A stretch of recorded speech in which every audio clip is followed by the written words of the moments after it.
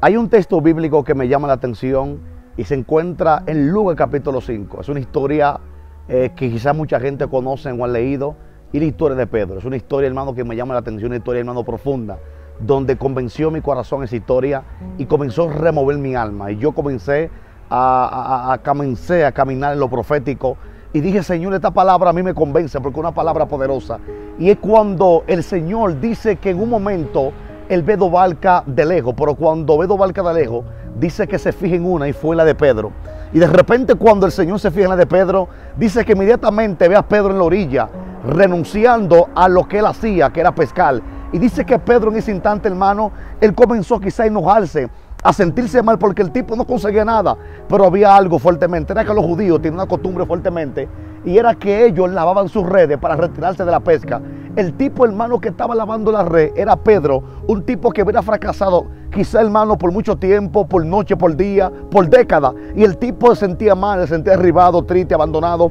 Y quizá él decía, ya mi vida es un fracaso. ¿Por qué? Porque toda la noche tiro la red y en vez de conseguir un pez, conseguí algo, una pesca, no consigo nada. Mi vida es un fracaso. Pedro hermano estaba renunciando a lo que él hacía. Y sabe algo, el Señor cuando ve a este hombre de lejos, ven acá Pedro, quiero que ahora tú me prestes tu barca. Cuando inmediatamente Pedro le preste la barca al maestro, ¿sabe lo que pasó hermano? Que Jesús comienza a dar una comienza a predicar. Oye esta palabra, Jesús comienza hermano a predicar una palabra y comienza la gente a hablar, la gente escucha el mensaje del Señor. Y dice que inmediatamente, hermano, cuando el Eterno predica la palabra, que cogió la barca de Pedro como un altar. ¿Sabe lo que pasó, hermano?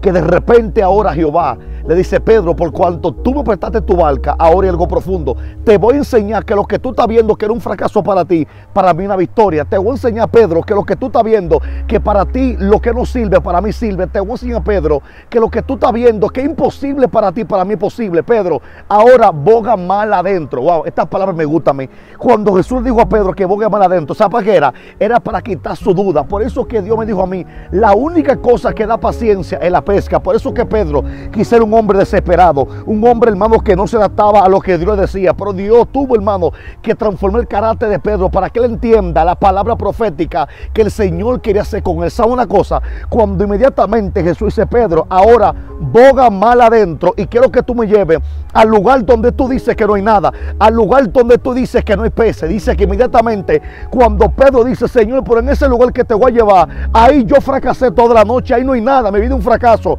Y el Eterno le dijo, Pedro, boga mal adentro, porque el que está contigo es el dueño del mal, del universo, el omnipotente. Pedro, yo soy aquel que aún murió y aún revivió le dijo a la muerte, muerte, yo soy tu muerte, entendiendo Pedro, tú tienes que hacer lo que yo diga, cornétate con el reino. Pedro, ven, boga mal adentro. Estas palabras para alguien. Cuando Pedro, hermano, entró a alta mar, ¿sabe lo que pasó, hermano? Que inmediatamente cuando el tipo entró, hermano, a alta mar, ¿sabe lo que pasó? Esta palabra quiero que alguien la agarre porque esta palabra es tuya. Dice que cuando llegaron, Jesús dijo, Pedro, ¿dónde está el lugar donde tú la retiraste toda la noche? ¿Cuál es el lugar? Señor, ese. Pedro, pero hay muchos peces ahí, Pedro, pero hay muchas cosas. Pedro, yo estoy viendo tanta bendición que tú no ves, Señor, no. Ahí yo fracasé toda la noche. La gente de la orilla se burlan de mí.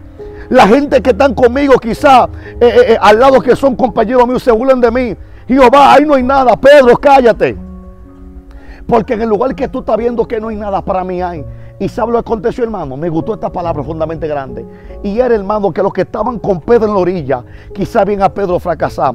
Vieron a Pedro, hermano, que quizá estaba llorando. Se burlan de él, lo criticaron. Hermano, le dijeron de todo. Pero me gusta lo de Dios, hermano. Es que cuando alguien se burla de ti, entonces Dios levanta la bandera para darte la victoria. Todo el mundo se burló de Pedro. Y quizá Pedro avergonzado, con la cabeza bajada, diciendo ya, ¿y para qué yo voy a pescar? ¿Para qué yo voy a tener la red si he vivido un fracaso? Pero salve algo, hermano hasta un día fue que Pedro estaba en fracaso, hasta que el Señor lo miró. Y cuando en un momento Jesús dijo, Pedro, ahora la red la va a tirar no en tu experiencia, sino en mi nombre. Ahora comienza a tirar. Y cuando Pedro dijo, en el nombre de Jesús, tiro esta red, dice que cuando Pedro la iba a sacar, dice que eran tantos los peces que él no podía sacarlo. Él tuvo que llamar a los que estaban en la orilla, los que estaban al lado de él. ¿Sabe para qué? Para que lo ayuden. Y sabe lo que Dios me dijo, hermano mío, que los que te ven fracasar van a ver tu victoria.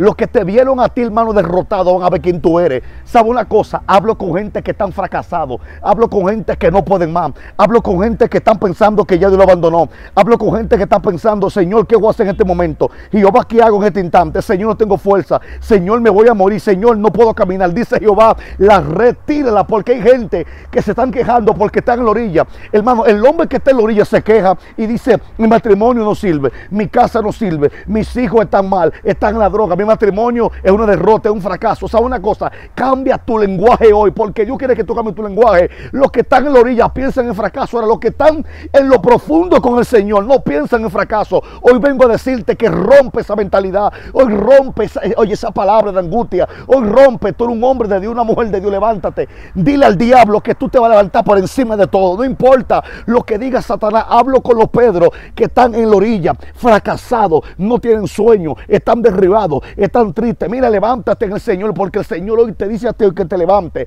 porque lo que Dios va a hacer contigo es notorio. Yo no sé lo que el diablo te quitó en este año. Ah, Basama. Hablo con los Pedros que están pasando fracaso. Hablo con los Pedros que están viviendo tiempos de desgracia. No sé, a ti mujer que me está mirando en este video, que está atravesando un momento difícil. Mira, raciona, piensa, analiza.